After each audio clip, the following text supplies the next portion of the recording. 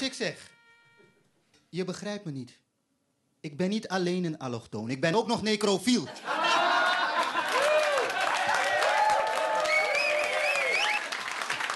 Oké, mensen bedankt. Het stokje wordt nu van me overgenomen door een nieuweling. Hij komt helemaal uit Brabant. Hij zaait geen papaver en het is ook niet dokter Pulders. Hartelijk applaus voor Pascal Smulders.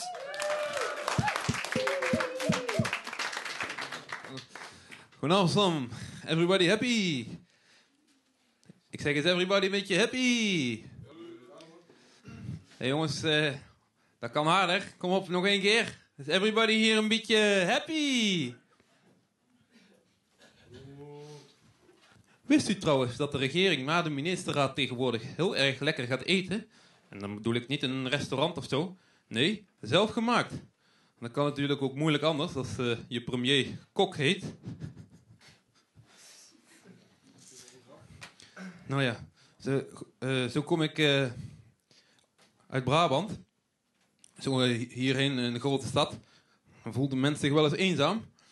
Vandaar ook dat ik gisteren de Playboy in één ruk had uitgelezen. Zo, zo, had, zo hadden we laatst een, een jubileum op de zaak. Bij ons noemen ze dat een, een lustrum. Weet, weet u wat dat is, een lustrum? Nou ja, in ieder geval, daar liepen vrouwen rond. Non de. Weet u hoe hij die noemde, die vrouwen? Lustrum-objecten.